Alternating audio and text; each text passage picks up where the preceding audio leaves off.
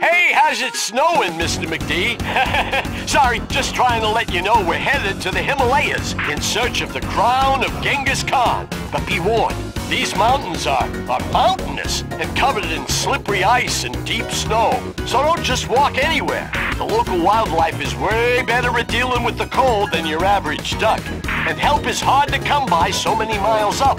Also, who knows what else might be hiding up there? Can't ever be too careful.